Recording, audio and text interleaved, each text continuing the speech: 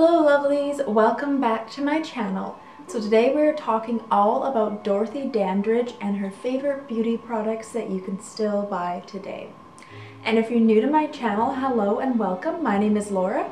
This is a channel where I talk about all things vintage, beauty, and fashion. So if you love those things, please don't forget to subscribe and hit the big red button below. Also, I started a new Instagram account for this channel. It's called Dahlias in the Attic. I would love it if you could also follow me on there. I linked that below.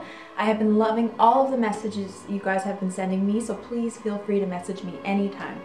Alright, let's jump right in and talk about Dorothy Dandridge and her favorite beauty products that you can still buy today. I really enjoyed researching Dorothy Dandridge for this video, but it also it was kind of sad. Her story is quite tragic. Um, she died of a drug overdose at a very young age and it just made me really sad doing all this research but there's so much to celebrate and she was so beautiful and so talented and she really paved the way for African American actresses of the future so there's so much to celebrate with Dorothy Dandridge and I want to celebrate you know her beauty and just her favorite beauty products and her perfume and just so many wonderful things to talk about. Dorothy Dandridge was born on November 9th, 1922 and died tragically on September 8th, 1965.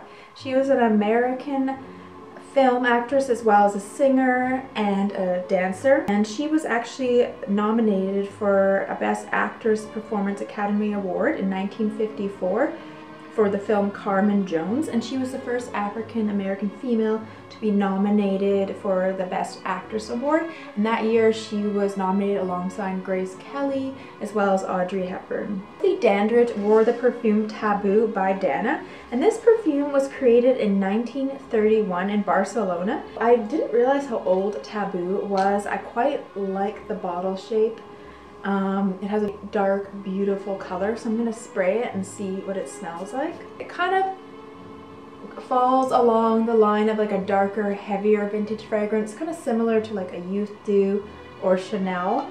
I quite like it though. It has kind of like a spicy note to it. It smells quite good quality. I'm really curious to research more fragrances by Dana since it is quite a vintage brand and I don't know, I found that very interesting that she wore this fragrance. It's very beautiful actually. I quite like how it settles in. So this is the first beauty product that Dorothy Dandridge wore. I was researching different beauty brands that were available during the time of Dorothy Dandridge's popularity and I found that Posner makeup was a brand targeted towards African American women of the time and they had like darker shades for their skin tone so I figured there was a, probably a good chance that Dorothy may have worn um, Posner makeup. So here's a little bit of a history of Posner makeup.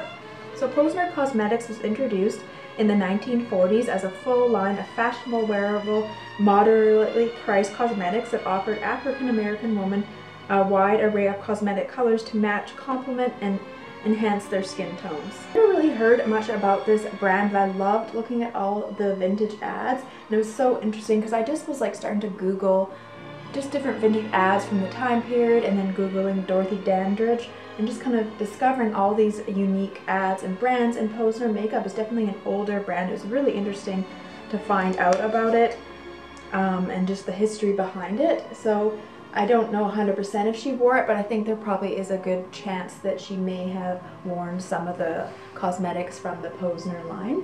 I discovered another vintage cosmetic company called Lucky Heart Cosmetics, and this one is based out of Memphis, Tennessee.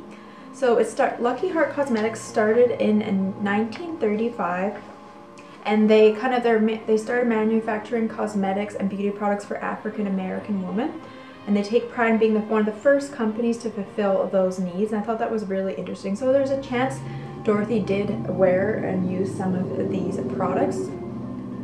I went online and bought a few products that looked interesting to me.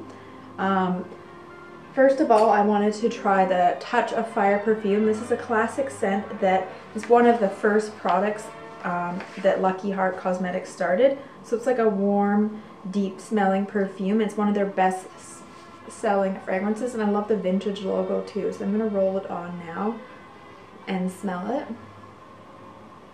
It definitely has It's kind of a fresh smell. I thought it would be a little bit deeper, but it's very nice and fresh. I quite like it actually. It'll be interesting to see how it sells. It's like a very nice, fresh, kind of soapy fragrance, but it definitely has a vintage smell to it. So this is Touch of Fire by Lucky Heart Cosmetics. Picked up a lemon ice toner. I thought this was interesting.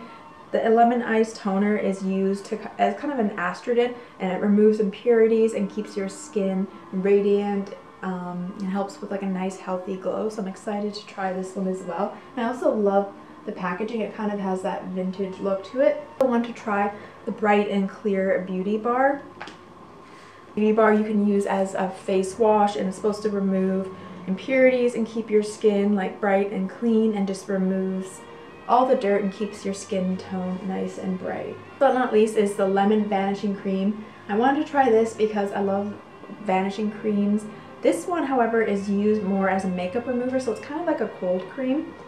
But I really like the thick texture to it and the kind of lemon smell and the kind of off white yellow color. and I think this will be really good at removing makeup.